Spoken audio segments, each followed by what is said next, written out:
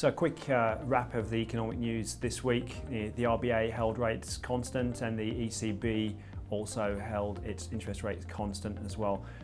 Big economic data coming forward tonight, Friday night our time, is the US non-farm payroll where expectations are for 200,000 jobs to be created. It's going to be a key data point and it will set the tone for the FOMC meeting next week as to whether the Fed does hike, which is strongly priced in. Also some minor data points out of the States. You've got CPI, inflation figures, and also retail sales, which will have a, a bit of a play on terms of the FOMC's thinking.